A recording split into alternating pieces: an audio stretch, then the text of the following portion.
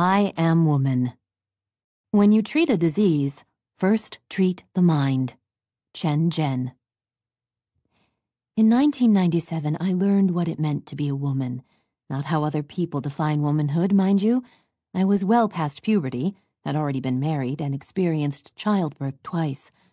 I learned how to define myself in other ways as I faced the loss of what I thought made me female. Six months after the birth of my daughter, I went for my annual exam. I'd been exercising and feeling great and had no worries. The doctor completed her exams and I returned home. A week later, the doctor called and told me that she needed to perform a cervical biopsy based on my test results. Scared and a bit squeamish, I appeared dutifully for the colposcopy. A week later, I was told that the cells were not cancerous and that lowering my stress would likely improve my cervical health. I was informed that I would be returning to her office twice per year to have exams instead of annually due to the increased risk. Two months later, I met with the doctor again, this time because I was pregnant with my second child. Despite a few hiccups with the pregnancy, things went relatively well, and I gave birth to a healthy son eight months later. Six weeks after the birth, I headed to the doctor's office for a postpartum exam. While I thought that all was well, the doctor was concerned about some suspicious skin discoloration near the suture sites. While it seemed reasonable to me that the area might be freaking out given what I'd been through, the doctor was not so pleased. I was told that I would be returning to her office for a biopsy the following week. After the last biopsy, I wasn't looking forward to any other procedure being performed in the area, but agreed to do so anyway. A long week later, the doctor did a punch biopsy. I left the office sore and began the long wait for the results. A few days later, we learned that there was no cancerous explanation for the radical change in coloration. It was, as I'd suspected, just a part of my reaction to childbirth. I felt like I had a new lease on life. Two close calls, but all clear now. I enjoyed my children, my family, and my work, and settled into the working mother routine. I tried to focus on what was positive and to distract myself from the stressors that seemed to be creeping in day by day. I made marketing calls, attended networking events, and when my son was six months old, I entered training as a medical intuitive.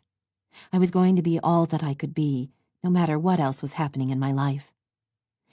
As much as I loved the training and felt like I'd finally discovered myself, I watched the distance grow daily in my marriage.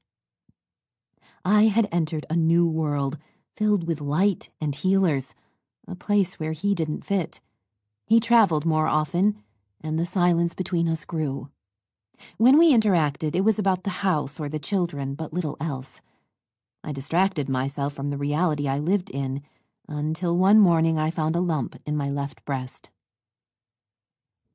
I contacted my doctor, who gave the lump a cursory exam and ushered me into radiology.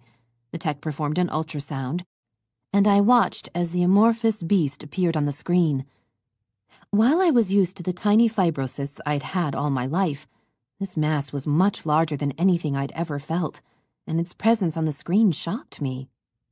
Appearing a little pale, the technician left the room and returned with the radiologist, something I'd never experienced despite the fact that I'd had numerous ultrasounds during my pregnancies. The radiologist turned to face the screen and grimaced. She then turned her gaze to me and told me that the mass had to be biopsied and likely removed, and that I would need to meet with a breast surgeon immediately. She left the office and returned with a sheet of paper as I pulled my clothing back into place. I was to head over to the surgeon's office while she called to schedule an emergency appointment.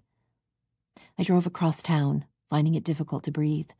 A half hour later, I was sitting in yet another doctor's exam room, being told that no biopsy would be performed due to the inherent risk of a potentially cancer filled mass leaking its mutant cells into my chest cavity. And, as the surgeon scheduled a radical lumpectomy for my left breast, the tears came like a torrent.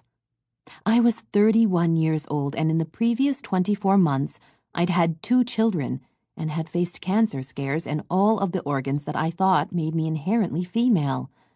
Somewhere, here, there, was a message for me. I spent the weekend not with my husband, or even my children, but with a group of healers of all kinds. I had my palm read, got a massage, had some acupuncture, then spent hours in past life regression. In all of the lives in which I died as a result of bodily injury or illness, the healers diligently worked to resolve and release the energy trapped there. Then, on Sunday, anxious but more at peace, my tribe and I went to see G.I. Jane. After two hours, I came out physically and emotionally exhausted.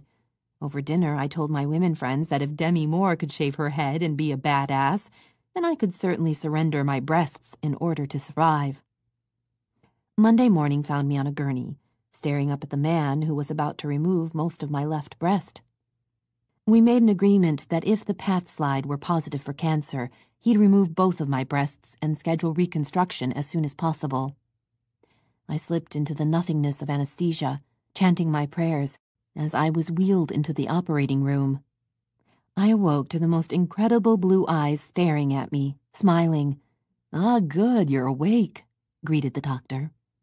I still felt so fuzzy, but wanted to know what they had found. I tried to reach up to my chest, but I couldn't seem to move my arms. That'll wear off soon, the surgeon soothed. But you don't need to check. They're both still there, he said, smiling again. Then, as my tears of joy consumed me, he reached out to touch my arm. He leaned in close to me, with his lips just to my ear, and whispered, I don't know what you did, but I've never seen cancer vanish. You think someday you can teach me that trick? He stood up, gave me a wink, and strode away. My whole life, I thought that being a woman was about having a uterus, a vagina, breasts, and long hair. But in 1997, I learned that being a woman was about acknowledging the awesome light within, filling every crevice with peace, joy, and love, and knowing that no body part would ever again define me. Sage de Beixedon Breslin, Ph.D.